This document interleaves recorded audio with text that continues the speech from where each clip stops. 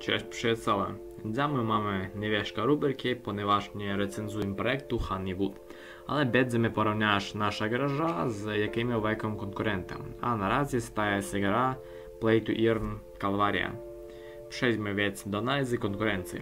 Honeywood to gra Play to Earn zbudowana na blockchainie Kosmos, w której możesz zarabiać pasywne monety za pomocą pasek i pчел.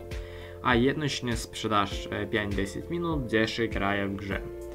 Kalwaria to gra kartyczna, w której grać robiarzy w turnach przy uzyskaniu kart reprezentuje różne postacie, które mają odpowiednie różne umiejętności. Za zwiedztwo otrzymujesz nagrody, korzystając ze swojej strategii i taktyki. W grze Kalwaria mamy e, dwa rodzaje gier. To kampania dla jednego gracza, w której gracz prawiecko sztucznej inteligencji sprzedaż od najtajemnego do e, najtrudniejszego poziomu, a player z player, gdy grasz sprawdza postacie za pomocą kart i strategii. Aby wygrać bitwę, musisz wygrać co najmniejsze dwa bitwy. Honeywood ma grze Play PvP z niedźwiedziem, w której różnisz żetonami, aby wygrać, a druga opcja gry to kupowanie pasek, pчел i deszcz oraz uprawa miodu. To, że kupisz NFT, umieścisz je na mapie i czekasz na zysk. Następnie zwiększasz liczbę uli i uzyskasz większy zysk.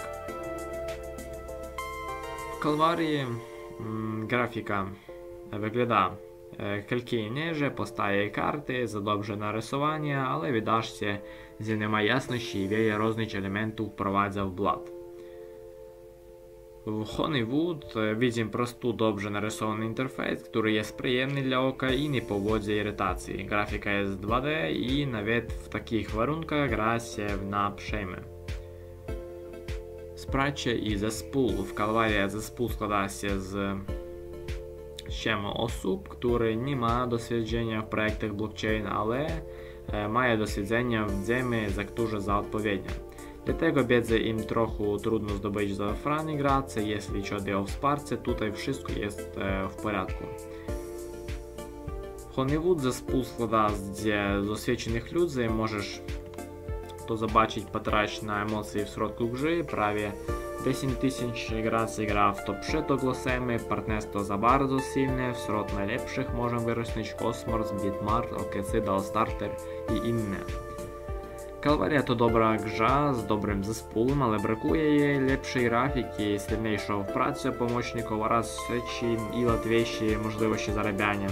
Honeywood zabrał najlepsze zyskanie gracji, dostępne i łatwe zarobki, e, przy niewykłej inwestycji czasu, do tego fajny zespół i silni partnerzy.